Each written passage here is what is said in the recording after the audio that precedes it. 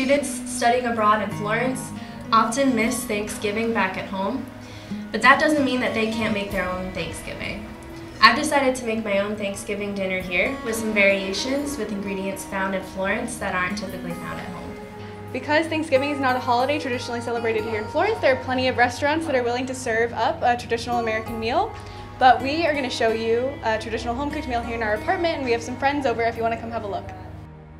The key things to plan for a Thanksgiving get together are what food you'll make, where to buy it, and who you'll invite. Some of our friends brought dishes, and we also made some of our own food, making slight changes to the typical food on the table found at a Thanksgiving dinner in the US. For example, we don't have a carved turkey, we have slices of turkey that we marinated. Turkeys are expensive and also only found in the macelleria or the butcheries in Florence, so you do have the option of grabbing one. You will have to improvise with some foods. The Mercato Centrale and most chain supermarkets can offer mixes of spices and common foods like potatoes, spinach, or bread for stuffing. It is hard, however, to find ingredients for typical meals such as green bean casserole or gravy mixes. We are also making chestnuts, an in-season typical Florentine food, to give our Thanksgiving a bit of an Italian twist. You might want to put on your own dinner, maybe invite professors, host families, and visiting friends. I'm thankful for many things, um, especially this wonderful meal that Colleen has prepared for us, and for the love I'm lucky enough to feel each and every day, and for all the good in the world that's still out there, because it's there.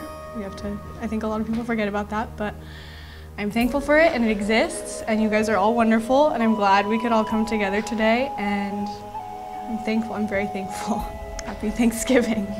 I'm thankful to be here in Italy and for all the amazing new people I've met, um, for seeing old friends, meeting people that I live with that I love.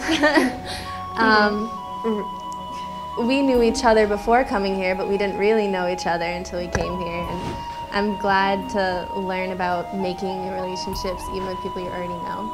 And uh, I'm very thankful for uh, coming to Italy and appreciating everything that's here as well as appreciating everything that's back home. Um, I'm thankful to be here in Italy, to be here at this lovely dinner made by Colleen, my wonderful roommate who, because I have two roommates, um, but I sleep in both beds.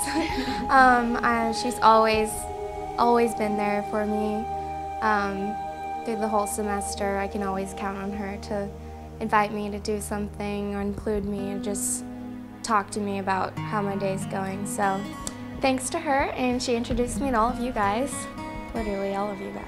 So um, yeah, I'm just very thankful. Remember, at the end of the day, the people you've chosen to spend this day with and remembering what you're thankful for are the most important parts of this holiday.